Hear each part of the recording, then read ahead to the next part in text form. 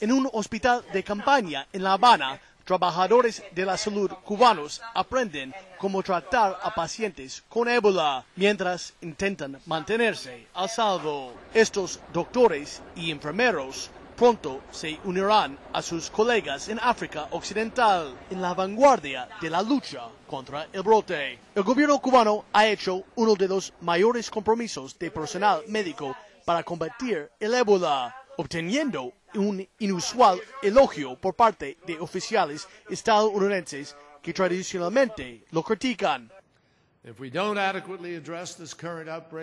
Si no enfrentamos adecuadamente este brote ahora, el ébola tiene el potencial de convertirse en lo que fueron el VIH y la polio, y todos tendremos que combatirlo durante décadas. Mientras el ébola está generando miedo alrededor del mundo, también está creando inusuales alianzas.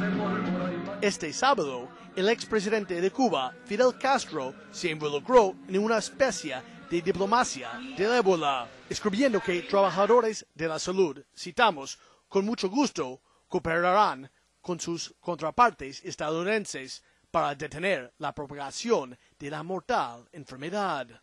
Fidel Castro no explicó cómo los Estados Unidos y Cuba podrían trabajar juntos y tampoco está claro si su oferta será tomada en serio. En Washington, en el 2005, Castro también ofreció mandar médicos cubanos a los Estados Unidos después del ciclón Katrina, una oferta que fue ignorada por oficiales estadounidenses.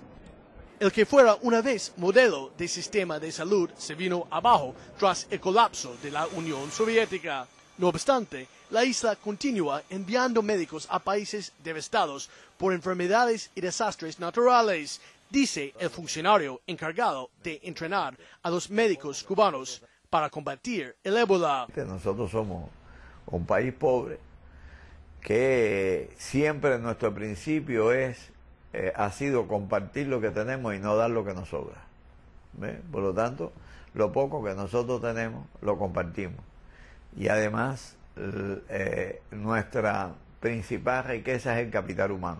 El enfermero Carlos García combatió el brote de cólera en Haití y se ofreció como voluntario para enfrentar el ébola en África Occidental. Ya hay casos en los Estados Unidos, hay casos en España y como puede aparecer en esos diferentes países, que son países desarrollados, puede aparecer en cualquier otro tipo de país que los recursos sean mínimos y entonces pondría en riesgo la, vida, la vida humana, la extinción de la vida humana y por, consiguiente eh, tendría en riesgo nuestras familias y todas las demás, por supuesto. La capucha. Este lunes, Cuba será anfitrión de una cumbre regional extraordinaria sobre cómo países del Caribe y la América Latina pueden trabajar juntos para contrarrestar el avance mortal del ébola.